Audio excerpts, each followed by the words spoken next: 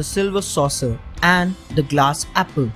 An old merchant had three daughters. The two elder ones were greedy and lazy, but the youngest was good and wise. The elder girls called her stupid.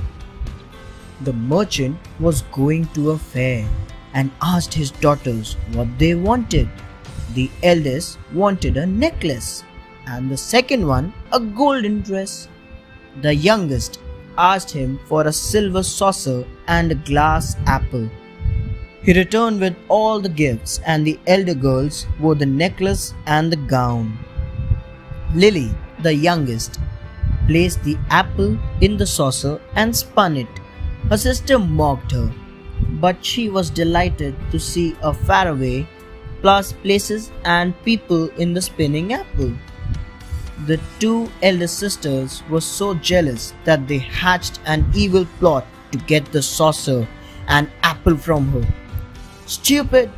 We have to pick berries in the forest, they said one morning. Come along. The girl went with them, wondering why they were carrying an axe.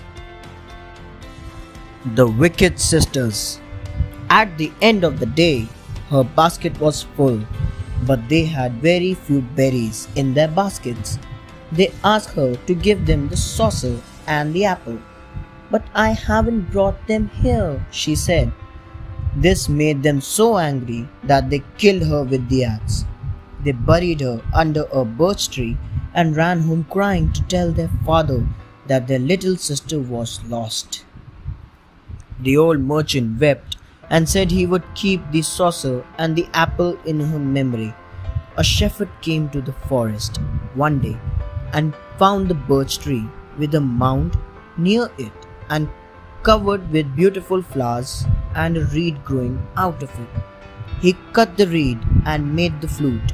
As he put it to his lips and was about to play, it began to sing, Dear little pipe, go tell my father, all for the sake of a silver saucer and a glass apple, I was killed. The kind Tsar, the shepherd, ran through the village with the flute singing its sad song. The merchant heard it and recognized the mention of the saucer and the apple.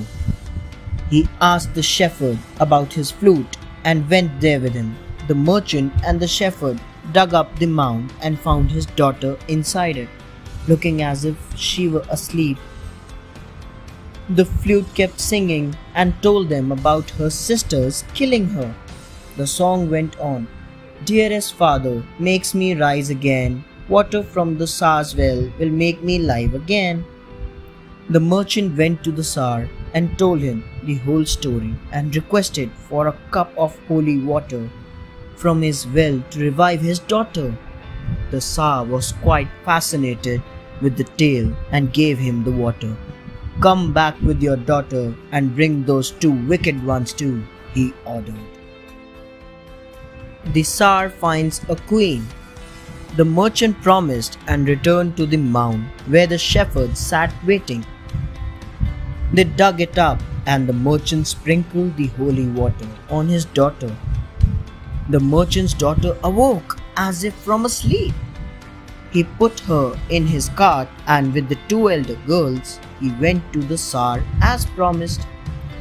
When he saw the merchant's youngest daughter, the Tsar fell in love with her. He ordered that the two elder sisters be punished severely, but the kind girl begged the Tsar for mercy. He agreed to let them go and said he wished to marry her, for she would be a kind and good Tsarina. The merchant was very happy for his daughter.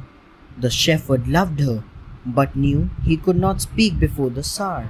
He was just happy to have helped bring her to life with his flute. There was a grand wedding, and the merchant's daughter lived happily with the Tsar. Thanks for watching. Do like, share, subscribe to Sahil Book House.